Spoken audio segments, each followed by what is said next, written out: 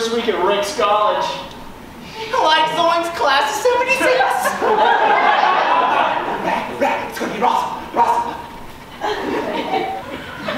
Wow, Scooby got accepted? They really do let anyone go there. Whoa. What's wrong, Velma? My my classes. I I can't find my classes. I'm just glad we're on a campus with such a sweet spirit. Spirit, like where? He doesn't mean an actual spirit, Shaggy. He means the Holy Ghost. Ghost, like where? Shaggy, there are no ghosts at Rick's College. Fred, I'm glad I found you. I have bad news. Hey, gang, it's my inferior brother Bragg. Hey, just because you were AP your entire It's life. true, I wasn't even trained. Doesn't make me inferior. But anyways, there's something I need to tell you guys.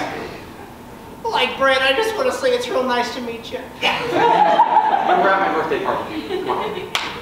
Oh, like, happy late birthday, man. Anyways, there's a ghost on campus. Ghost, like where? Jinkies, Brett, are you sure? I saw it myself. They're calling it the spirit of Ricks.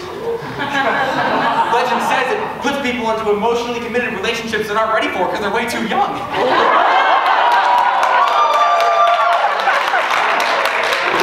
Well, anyways, I gotta go. I have practice for our very current and permanent Ricks College football team. Go Vikings! Well, gang, it sounds like we have a mystery on our hands, and you know the drill. We're gonna split up. Shaggy and Scooby, you guys are together. I'm gonna flirt on and stick with Daphne. And, uh, sweet, sweet spirit Velma, you're okay, all right? Sure. I always am. There's always the celestial kingdom. Like, Scoob,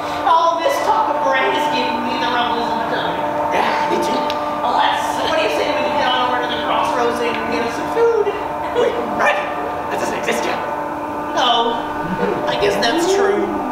Emotional commitment!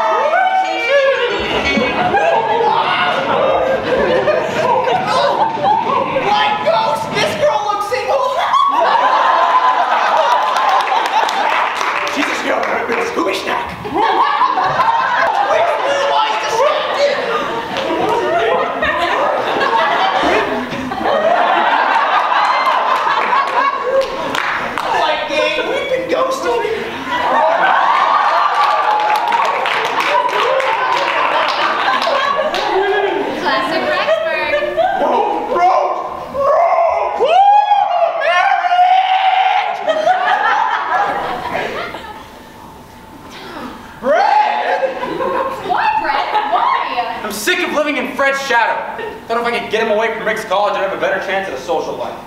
I'm not afraid of ghosts. I know. I'm wearing temple white because I know you're afraid of commitment.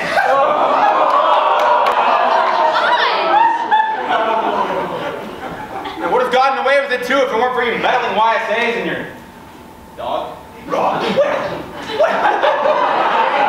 Let's take him to the honor office. But Fred, that doesn't exist yet. Yeah, like I've got a goatee.